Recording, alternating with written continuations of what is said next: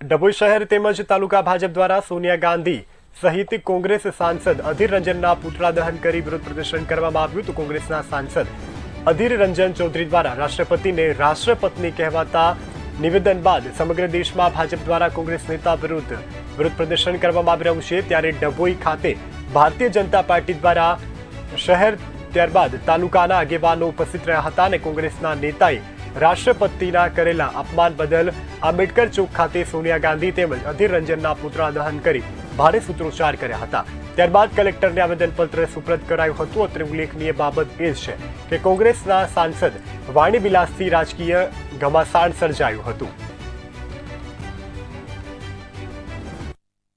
પહેલાં બુધવારે દિલ્હીમાં કેન્દ્ર સરકારની વિરુદ્ધ કોંગ્રેસ જ્યારે દેખાવ કરતી હતી એ સમયે કોંગ્રેસ પક્ષના નેતા અધિરંજન ચૌધરીએ જાણી જોઈને વારંવાર રાષ્ટ્રપતિ માટે રાષ્ટ્રપતિ જેવા શબ્દો વાપરી આવા અશોભનીય, અસંસ્કારી શબ્દો વાપરી અને રાષ્ટ્રપતિનું અપમાન કર્યું છે.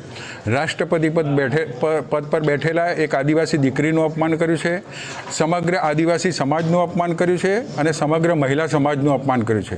એને ભારતીય જનતા પાર્ટી વખોડી કાઢે છે અને અધિરંજન ચૌધરી આ માટે માફી માગે એવી ભારતીય જનતા પાર્ટીની માગણી છે. અધિરંજન ચૌધરીને માફી માગવાનો આદેશ આપવો જોઈએ. એના બદલે શ્રીમતી સોનિયા ગાંધીએ સાંસદમાં મહિલા સાંસદો પર આપત્તિજનક ટિપ્પણી કરી અને એમનું ઘોર અપમાન કર્યું છે.